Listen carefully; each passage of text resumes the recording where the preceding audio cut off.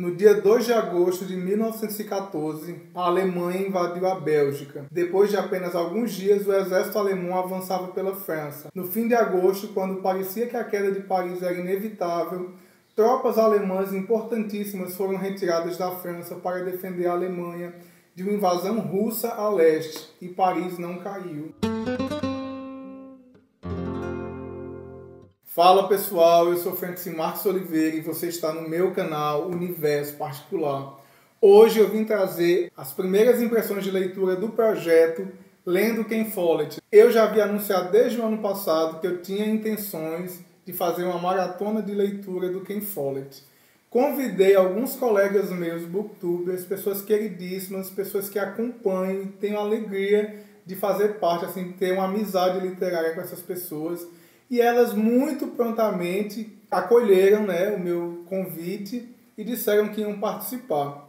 Algumas dessas pessoas já conhecem a escrita do Ken Follett, né, leram quando eram mais jovens, outros ainda não conhecem, então é muito legal ter esse mix né, de visões sobre o autor Ken Follett. Hoje, no meu primeiro vídeo, eu vou falar sobre esse livro aqui, O Homem de São Petersburgo, que foi lançado originalmente em 1980, né, na década de 80. Essa minha edição aqui, acredito que é de 2016. Quem publica os livros do Ken Follett é a editora Arqueiro aqui no Brasil e ela vem relançando alguns livros e trazendo mais títulos do autor. Antes de falar sobre esse livro, eu gostaria de agradecer aqui aos canais que vão participar do projeto. Né? Então vamos ter a Leila Cardoso, que gosta muito de literatura de guerra, e ela prontamente aceitou participar do projeto. Então, a Leila Cardoso, vamos ter também a Cristina, do Relivrando, que ela mora lá nos Estados Unidos e também gosta do Ken Follett, diz que faz muito tempo que leu as obras do Ken Follett e decidiu é, retomar as leituras dele. Eu fiquei muito feliz. Vamos ter também a Lê Docena, do Portão Literário, tá? Que a gente está com muitos projetos juntos, eu e a Lei, a gente está combinando várias coisas assim durante o ano, e ela aproveitou o ensejo e entrou também no projeto do Follett 2019. E meu amigo Mailson Coelho, gente, lá do canal Grudado nos Livros, também vai participar, ele confirmou comigo. E todos os meses ele vai adquirir um livro do Ken Follett para participar do projeto. Então estou muito feliz, muito contente Infelizmente, alguns colegas não vão poder participar porque não é muito o gênero deles, né? esse gênero de romance histórico, mas tudo bem. Então vamos falar do Homem de São Petersburgo. Esse livro vai contar a história do Félix, que é um anarquista russo e tem uma missão na vida, que é evitar uma guerra. Né? Ele é um anti-herói que é um herói. O contexto histórico aqui é de Primeira Guerra Mundial, Estamos falando do ano de 1914. O livro ele começa já no presente e ele vai nos mostrando assim as digressões, o passado das personagens. O Félix ele se envolve com uma moça rica chamada Lídia. A Lídia muito à frente do seu tempo, a Lídia muito saidinha conhece o Félix e tem um caso com ele. O pai dela descobre esse caso com o Félix, que é pobre, que não é ninguém, e já tem assim uma ideologia política controversa que vai de encontro né, à elite conservadora ali da Rússia. E o pai da Lídia manda prender o Félix. Ele vai para a Sibéria, ele fica preso, ele é torturado. E muitos anos depois, a Lídia já está casada com um duque, um conde na Inglaterra, e a filha dela, Charlotte, está fazendo 18 anos, ali ela vai debutar e tem que comparecer diante do rei na Inglaterra, aquela formalidade toda. Ken Follett é muito bom em mostrar esse comportamento da elite inglesa. A questão de comida, a questão de vestimenta, a questão de etiqueta, né? Isso é, é bem peculiar das obras do Ken Follett. Ele sempre trabalha muito classes altas, pessoas ricas, em detrimento de classes mais pobres, né? Isso é uma coisa que eu percebo em todos os livros que eu já li do Ken Follett, essa luta de classe isso é uma coisa que me agrada muito. E aí a Charlotte, ela começa a descobrir o mundo. Ela é uma moça muito ingênua. Ela é uma moça que não sabe praticamente nada da vida real. Então tem cenas que ela está tentando descobrir por onde os bebês nascem. Elas não sabem como é que o bebê é colocado dentro da barriga. E ela vai descobrindo as coisas aos poucos. Quando o Félix vem para a Inglaterra para tentar matar o príncipe Orlov, que ele está negociando com a Inglaterra em nome do governo russo, uma forma de fazer uma aliança Rússia e Inglaterra contra a Alemanha. Só que para isso a Rússia quer algumas concessões comerciais. Então o Félix ele se oferece para vir para a Inglaterra para fazer esse atentado contra o príncipe, para que o czar da Rússia ele evite qualquer aliança com a Inglaterra. Né? Então dessa maneira o anarquista Félix ele vai conseguir evitar essa primeira guerra, pelo menos a participação da Rússia nessa guerra. Então o que o Ken Follett fez, gente? Ele entrelaçou todos os núcleos, todos os personagens estão envolvidos de alguma maneira. Então, o passado e o presente se encontram aqui. Alguns acontecimentos vão sendo nos apresentados em cadeias. Então, por exemplo, o pai da Charlotte, ele começa a desconfiar do que está acontecendo ali na casa dele, da Lídia, da própria filha. Ele é um homem muito é, educado, muito culto e ele foi convidado pelo Churchill. É o segundo livro que eu leio do Ken Follett que essa pessoa real aparece, que é o Churchill.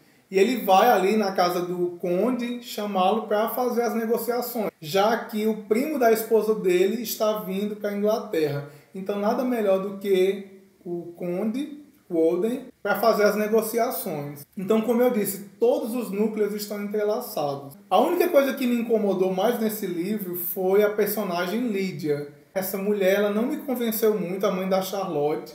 Eu achei assim meio que ela, ela deu ao livro um ar de novelão mexicano, sabe?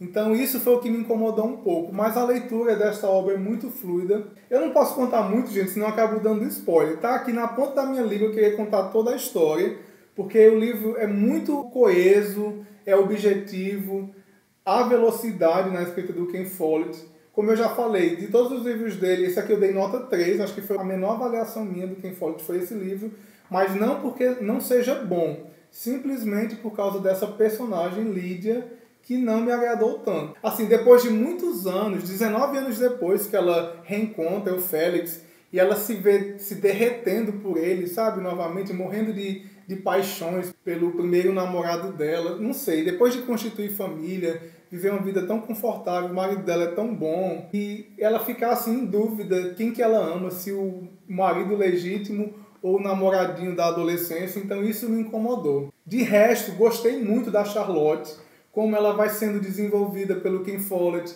Ela é uma moça ingênua, uma pessoa que não sabe nada, então ela vai se tornando uma mulher forte, uma mulher com ideais, né? ela vai se tornando uma feminista mais uma vez o Ken Follett vai abordar essa questão do sufrágio feminino, né? Então, a Charlotte tem uma cena em que ela está lá participando de uma marcha pelo direito das mulheres de votar e ela é agredida, né, por um policial. O Félix vem e salva ela e ela vai descobrindo quem é esse personagem que sabe tantas coisas sobre a política, sobre a vida e, e é contra a injustiça. Então, eu gosto muito da forma com que o Ken Follett vai desenvolvendo a Charlotte. Então, de todos os personagens, quem eu mais gostei realmente foi a Charlotte e o anarquista, o Félix. Mesmo ele sendo, vamos dizer assim, o vilão da história, os ideais dele são ideais de revolução. Ele é um revolucionário. Ele está lutando por uma causa, né? a causa das pessoas pobres da Rússia, os camponeses, as pessoas que não têm ninguém por elas. Mesmo você vendo que ele tem intenções de matar alguém, que ele quer fazer o mal a alguém, de certa forma o Ken Follett nos convence de que é por uma boa causa. Então, no final das contas, você fica torcendo pelo Félix, você fica torcendo por ele.